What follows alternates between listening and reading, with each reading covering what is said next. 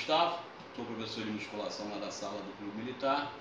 Em parceria com o clube, nós resolvemos montar um pequena sequência de exercícios né, que eu considero fundamentais para a nossa faixa de idade. O clube não é um clube jovem, então alguns exercícios que estão circulando pela internet eles não são bons. Os exercícios que eu vou colocar a partir de agora são para aquelas pessoas que pararam de fazer atividade física e não para aquelas que nunca fizeram. Fácil. Se tiver uma fita dessa, você prende aqui na porta para ela não escapulir, certo? E vamos fazer primeiro a rotação lateral. Você tem que dar uma esticada no elástico para criar uma tensão e vai fazer a rotação lateralmente, de 10 a 20 repetições. O importante, que é o erro comum, é o aluno achar que é isso. Não é isso. Cotovelo sempre colado ao lado do corpo e esse movimento ó, tensionado, o elástico, ele mantém essa tensão constante. Então esse é o primeiro exercício, é a rotação lateral. Tem a mesma tensão, se afasta, cotovelo grudado ao corpo e a gente vai fazendo um movimento para dentro, por isso que é medial. O próximo exercício ele chama de remada fechada. Trabalho bíceps e o grande dorsal e o rotador. É um movimento como se estivesse usando um serrote. Para frente e para trás, de 10 a 20 vezes. O último exercício é praticamente a mesma coisa, com o braço esticado. Observa que a gente não faz a flexão de cotovelo, braço totalmente estendido. Lá na academia a gente chama de supino horizontal. Aqui a gente vai fazer uma adaptação com o elástico, que é a flexão e a extensão horizontal. Cotovelo sempre baixo. O erro comum desse exercício é levantar o cotovelo. Está errado. Então é aqui, o cotovelo ligeiramente apontado para baixo, faz a flexão e a extensão de cotovelo até o final. Certo? De 10 a 20 vezes. Para trás e retornando.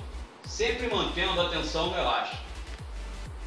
Quando as duas escápulas, que antigamente se chamavam de omoplatas, encostam uma na outra, o movimento acabou.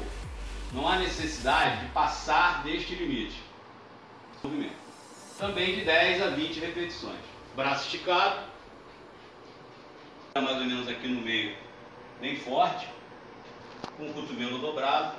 Você vai fazer uma ligeira flexão de tronco, apoiar com a outra mão na parede, flexionar a cabeça e vai fazer a extensão para trás do cotovelo.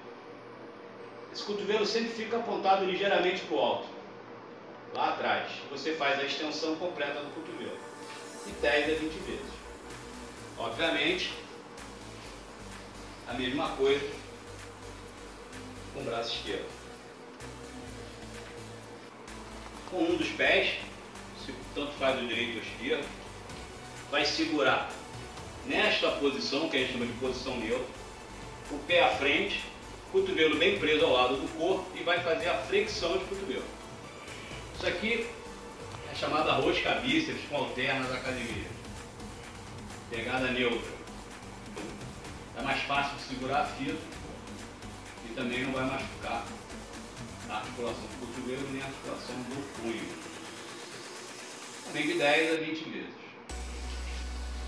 É interessante você usar a cadeira na frente para apoiar, para não perder o equilíbrio.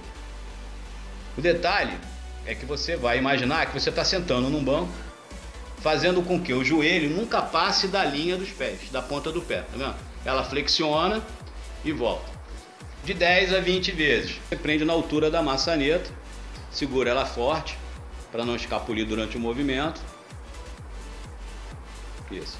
Então agora vamos fazer o primeiro exercício da região do quadril, que é a abdução de quadril. Você vai afastar lateralmente a perna isso. Quando chegar na frente da outra perna, você para. Também de 10 a 20 repetições. Imediatamente você troca o lado. Segura com a outra mão. Isso. E a perna que estava fazendo a abdução, você ajeita a fita porque ela vai subir um pouquinho. Novamente. A perna dá um passo atrás de apoio, se afasta e agora você vai fazer a adução. Isso. Em direção à outra perna.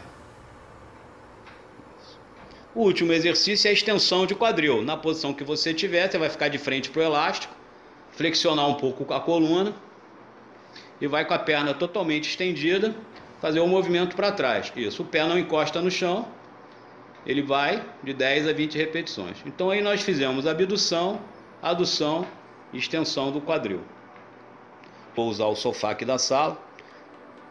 Pode ser que alguns alunos não consigam fazer no chão, uma questão de quadril, de joelho, coluna, enfim.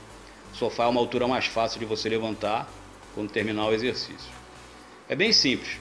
Os dois pés apoiados no chão, você vai elevar e tirar o glúteo do chão e voltar. Quando encostar no chão novamente no sofá, você eleva novamente. E é importante que esse movimento seja feito com a duração de, 30, de 3 segundos. Tipo 1, 2, 3, desceu 1, 2, 3. Você contrai o glúteo ao máximo e na descida a mesma coisa. De 10 a 20 repetições. Sempre lá na academia, na sala de musculação, é apoiar o pescoço, né, segurando a cabeça atrás, e fazer o movimento olhando para cima e assoprando o teto, soltando ar na subida. Vamos lá. Um, dois, três, desceu. Isso. Com isso, você está fazendo uma boa flexão abdominal. De novo, um, dois, três. É fundamental soltar o ar sempre quando subir. Mais uma vez, de 10 a 20 repetições. Um prolongamento da coluna, alternadamente a perna direita e o braço esquerdo. 3 segundos.